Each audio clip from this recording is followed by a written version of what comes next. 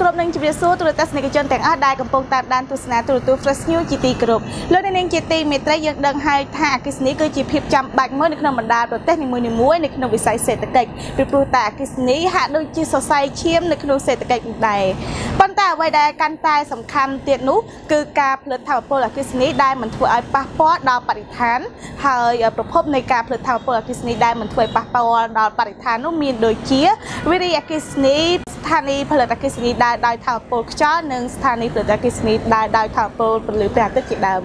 អាស្រ័យហេតុនេះហើយទើបក្រុមហ៊ុន Hydro Power Lower Sesan 2ដែលជាក្រុមហ៊ុនសាងសង់ទំនប់វារីអគ្គិសនីសេសានក្រោម2នោះបានបញ្ជូនបុគ្គលិករបស់ខ្លួនចំនួន2រូបទៅសិក្សានិងស្វែងយល់អំពីការផលិតថាមពលអគ្គិសនីដែលផលិតដោយថាមពលសូឡានិងថាមពលខ្យល់ហើយត្រឡប់មកពីការបំពេញបេសកកម្មក្នុងការសិក្សាមកវិញវិស្វករទាំងពីររូបមានចំណាប់អារម្មណ៍នៅក្នុងការបង្កើតនៅរោងចក្រផលិតថាមពលអគ្គិសនីដែលដោយថាមពលខ្យល់និងថាមពលពន្លឺព្រះអាទិត្យនេះនៅក្នុងប្រទេសកម្ពុជាផងដែរអាស្រ័យហើយនេះដើម្បីជាកាន់តែច្បាស់អំពីទិសដៅនិងថាតើក្រុមហ៊ុនហននិងគ្រប់ក៏ដូចជាក្រុមហ៊ុន Hydro Power Lower Sesan 2មានឆន្ទៈយ៉ាងណាក្នុងការផលិតថាមពលអគ្គិសនីដែលបរិសុទ្ធនៅក្នុងប្រទេសកម្ពុជារបស់យើងនោះដូចនេះសូមទស្សនិកជនទស្សនាសេចក្តីរាយការណ៍បន្តពីនាងខ្ញុំដូចត